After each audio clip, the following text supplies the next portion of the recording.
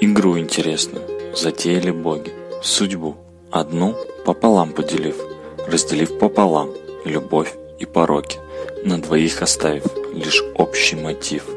Годами по свету бродили две половинки, и в судьбах других знакомые ноты пытались найти.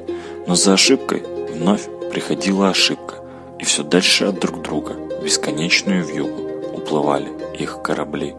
А богам все игра да потеха, и скорбный финал устроил их всех.